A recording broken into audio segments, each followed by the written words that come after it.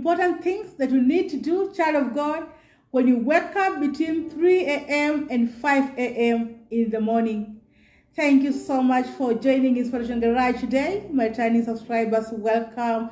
Praise the name of the Lord. I hope and trust that you're where you're watching me from and God has kept you. If you're watching me for the first time, welcome. My name is Ruth. I'm born again. Here I share the word of God. I share faith-based content. And I also help women become better version of themselves with the word of God.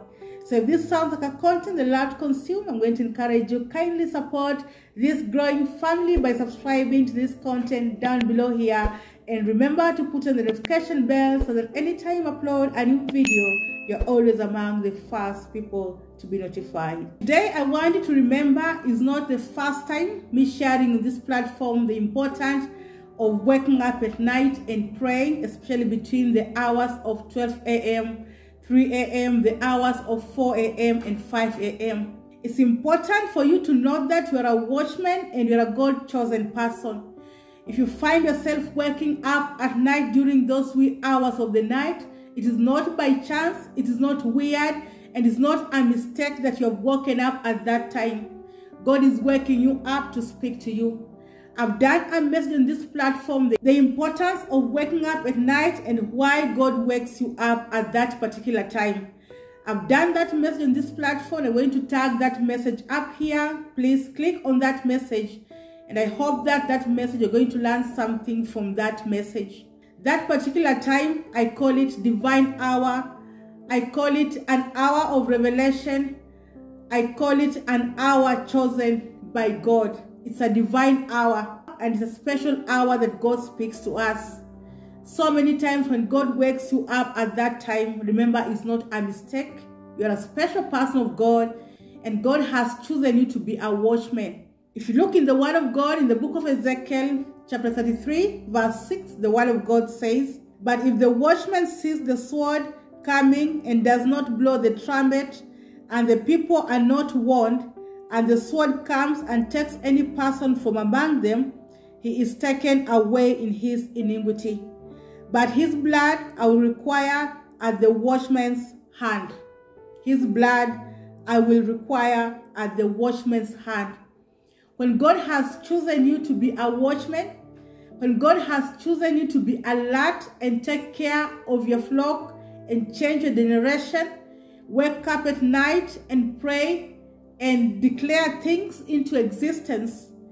And when you wake up and you don't do what God has commanded you to do, then if anything happens wrong to the people that you're taking care of, if anything happens wrong to generation, God will blame you and God will not blame the generation because God has trusted you with that generation for you to wake up at night and pray.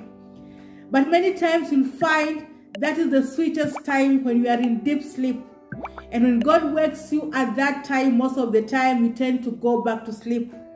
Remember that is the devil who is commanding you back to sleep. The devil does not want you to accomplish what God has placed into your life. And so the devil will bring very sweet dreams to you and the devil will tell you to go back to sleep. The devil will try to convince you to go back to sleep so that you don't pray and change your generation. Remember, that's also the very time the devil is very alert. The devil is awake at that time and the devil is exchanging your destiny. The devil is manipulating your destiny. That's why it's important as a believer, as a Christian, when you find yourself waking up at that time, remember to pray. God is not waking you up to go and pee. God is not waking you up to do other things. But God is waking you up to be alert and watch because the devil is also alert at that time. I was watching another lady on YouTube sometimes back, and that lady was serving the devil. That lady had been lured by the devil, and that lady happened to be serving the devil at that particular time, but she was delivered. Praise be the name of the Lord. That lady was trying to warn Christians to be watchful and remain steadfast and pray at night, especially the wee hours of the night, 12 a.m. She was saying that particular times when they used to be very active in the devil realm and they were trying to take captive of Christians during that particular time. So she was trying to tell Christians to be alert at that time and pray because that's when the devil is very active. She was even saying that they were decreeing things into existence at that particular time. It's a very dangerous hour to find you asleep. And she was trying to explain how they used to change destinies and cut people's destinies and destroy believers' life during at that particular hour. That shows you how it's important for you to remain steadfast and wake up at night and pray. Waking up and pray will change your generation. Waking up and pray will change your destiny. And so that's why in this message today, I want to tell you three important things that you need to do when you wake up at that particular hour. When you find yourself waking up at that particular hour, it's important for you to know that God is the one who is waking you up. And you are a chosen person of God, you are special. You're not like any other person, and you are a watchman. God has trusted you with your generation. God has trusted you with people to pray for. God wants you to change other people's destiny. God wants you to pray for ministries.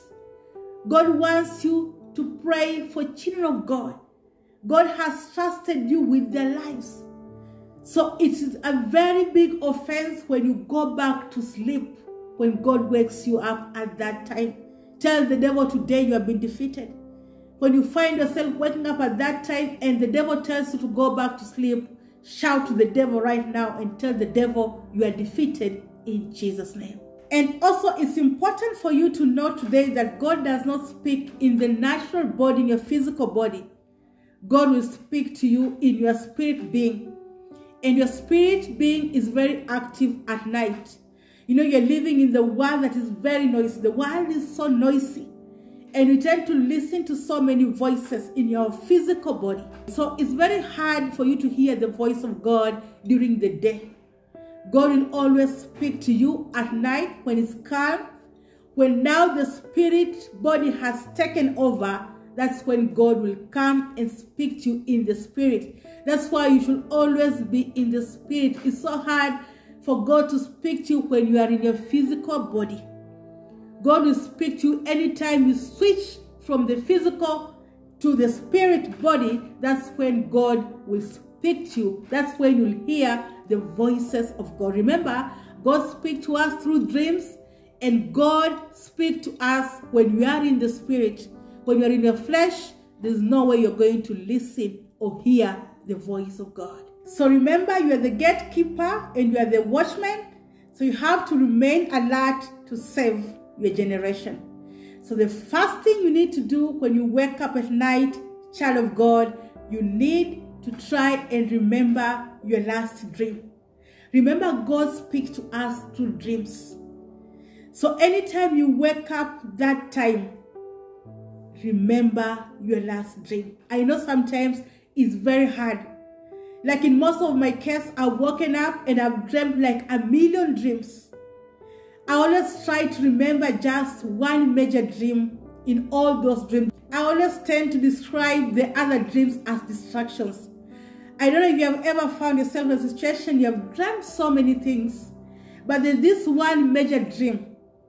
In fact, I don't call it a dream, I call it a vision. There's this one dream that is so long and it's major. The other dreams are just distractions. I'm going to urge you, try to remember that one major dream. Try to remember that dream that God has taken you through all along. Because when you remember your last dream, you'll know where to shoot. You'll know what to pray for.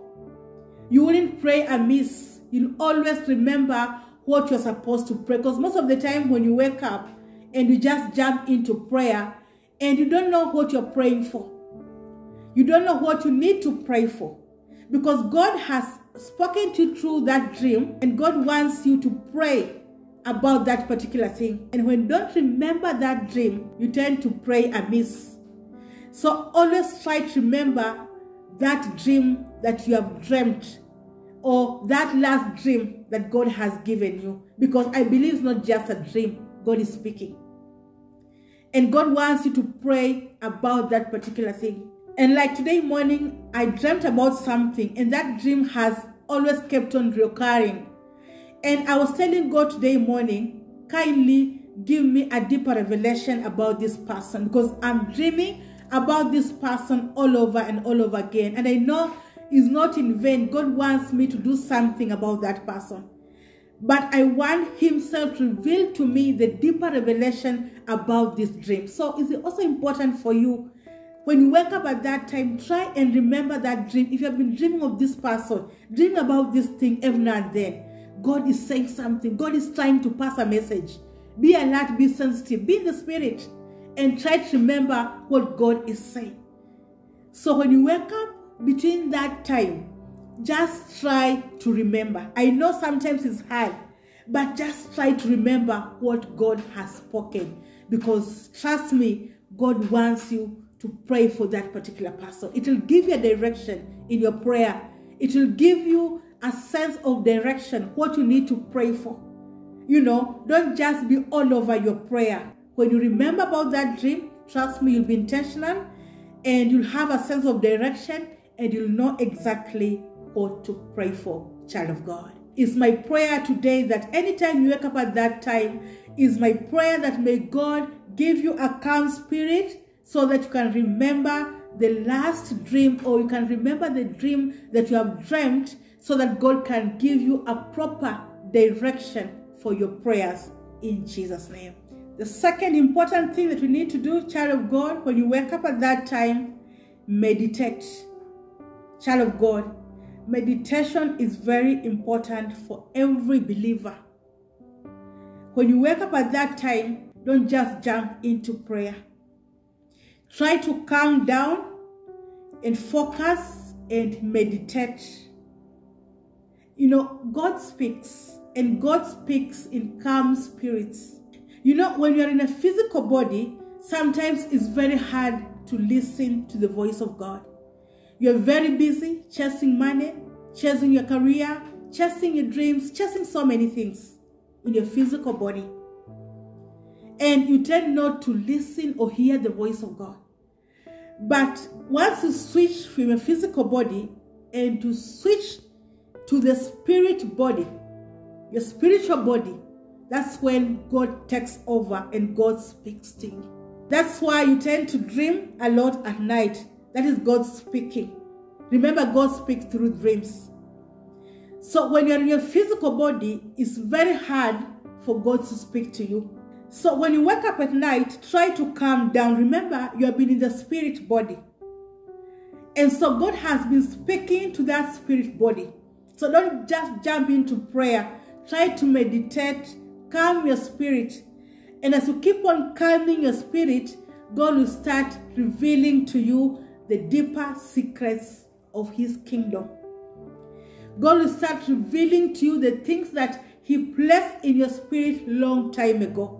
That's why many giants, many CEOs get their revelations at that particular time. Many visions have been born at 3 a.m.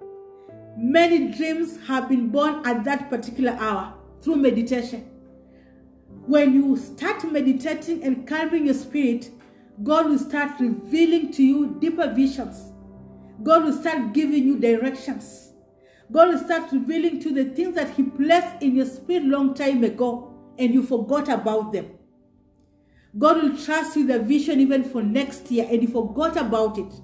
So once you calm your spirit, you start to remember the things that God has placed you in your spirit. So it's important for you to meditate at that particular time. Most of the time, that's the time I also start thinking about my business. When I wake up at that time, I start focusing on my business. I start meditating about my business. You know, I start putting notes down about my what I want to see God do in my business. I call it divine hour. It's a very special hour. So when you wake up at that time, don't misuse that hour. Try and make use of it. Maximize that hour and meditate over your life. Meditate over your future Meditate over the future. Meditate on the things that even you have not seen yet. It's a very powerful hour, child of God. It is my prayer that may God give you the grace, may God give you the grace to meditate, and may God give you deeper revelation of his kingdom. In the book of Job, chapter 22, verse 28, the word of God says, You will also declare a thing, and it will be established for you. You will also declare a thing, and it will be established for you. If you declare something with your own mouth, child of God, it shall be established for you. There is power in your tongue. And that leads to my third and my most important thing that you need to do anytime you wake up between 3 a.m. and 5 a.m. child of God, you need to declare things into existence. You need to declare what you want to see God do in your life. Declare something and it shall be established. Child of God, that is a divine hour do not waste that hour for anything else. Do not trade that hour for anything else. When you find yourself waking up at that particular hour, make sure you make use of it and declare things into existence. Tell God exactly what you want to see Him do in your life. Just declare things and it shall be established in your life. That's not the hour to close your mouth. A closed mouth is a closed destiny. That's the time to declare things into existence. Speak things into existence. Tell this mountain to move at that time, and that mountain will move. Speak to your generation. Speak to your children. Speak to your spouse. Declare what you want to see God do in your family, in your house, in your business. Declare the fruitfulness of God in your business. Tell God what you want to see in your business. Declare what you want to see in your children, child of God. It's a divine hour. So when you wake up, even before you pray, please declare things into existence. The same lady I was watching, I heard her say when he was serving the devil, they were declaring things into existence is a challenge to us as believers as Christians. If the devil's realm can declare things into existence, she was trying to explain when they want to monitor you and they want to catch, they want to get hold of you as a believer, they'll take your name and they'll put a mirror somewhere and they'll call out your name and they'll hold on to your name. For example, they'll say, James, you will not prosper. James, You'll not see your future. James, you'll not see the goodness of God on the land of the living. James, I'm getting hold of you. James, you'll not see your generation. James, you'll not prosper. You see, they say things against your name. And she says when they come into the natural realm, the physical body, those things happens to you. So anytime they declare things into the devilish realm at night, those things come to existence in your physical body. When they say you'll catch fire, when they say you'll catch sickness, it will come to pass. So as a believer, it's a challenge to you. If the devil realm, they can declare things to existence, then what if the superpower, the power of God, the power that God has given you, what if the power that God has instilled into you, you are able to declare things and they'll come to existence. They'll be established. So it's important for you as a believer, counter with the word of God during that time. At that time, they're declaring, be a watchman, be a watchman, and declare and also counter against what they're declaring to your life. Make sure you're awake. So when they wake up to declare, also wake up as a believer and counter with the word of God. Declare what you want to see in your life and will come into existence, child of God. Never joke with the spiritual things. Never joke with the spiritual of God. Matters of the kingdom are very serious. It's important for you as a child of God, as a believer, to impress the things of the Spirit and do as what the Spirit says. And let the Spirit direct you. If you lean your understanding, you're going to perish. If you lean in your own understanding, you're going to flop. Lean in God's understanding. Lean in God's understanding. Lean in God's way. And God will direct your paths. If you lean on God and if you hold on to God and if you let God lead you, surely God will direct your paths. So it's foolishness to lead in your own understanding. It's foolishness to follow your paths. It's foolishness to lean in your own understanding. Just lean on God. Just lean on His teachings, and He's going to direct your paths, child of God. I hope you have learned something from this message today. It's my prayer that this year may God give you the grace. It's my prayer that God may give you the energy. May God give you the stamina. Anytime you wake up at night, let not the voice of the devil speak to you to go back to sleep.